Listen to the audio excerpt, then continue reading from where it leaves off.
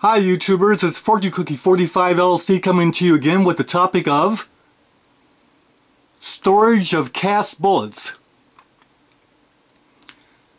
Look at Arnold when he was a young man. Fantastic. Terminator 2. This door goes into my reloading room.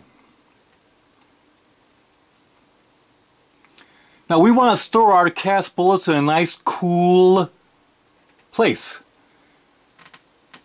Because if it's too hot, the bullet lube can actually melt and run out of the, of the grooves.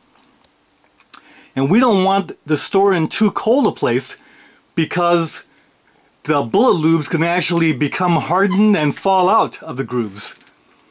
So we want a nice cool place to store our cast bullets and we want to protect the cast bullets from dust.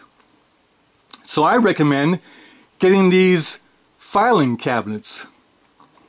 Now filing cabinets can cost up to $500 for one of these filing cabinets. But I recommend getting them for free. And here's how you do it. These high-tech companies that are, are in these warehouses will eventually want to get rid of their office furniture and replace with new office furniture so they actually get rid of their old stuff. And if you know someone that's, that's working in the building, they can alert you to it because what happens is the companies will move their used furniture into the hallways and the new stuff goes in and they'll have signs that say take this away because they'll have to, to, to pay someone to take it away.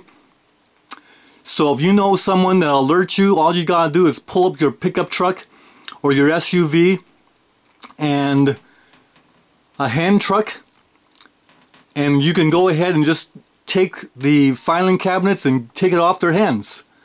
So I like to use these filing cabinets. These doors actually roll back like garage doors to store my cast bullets. They're strong because you need strength. Your cast bullets will be, be very heavy Notice there are two layers of cast bullets in these containers. And trays that are about a foot deep going back there with cast bullets. Also on the lower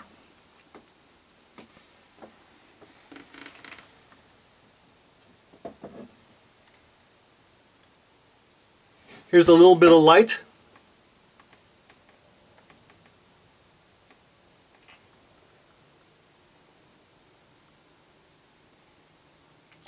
Now that slab there is a slab of paraffin.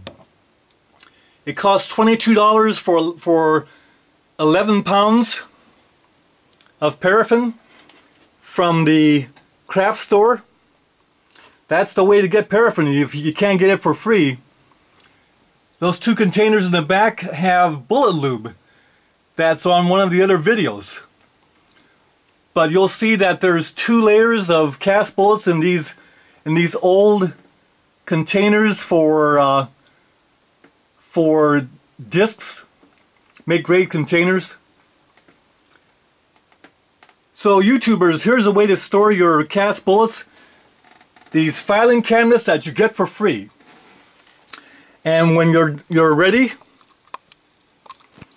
these doors just come out and close they come out and close. And they come out and they close.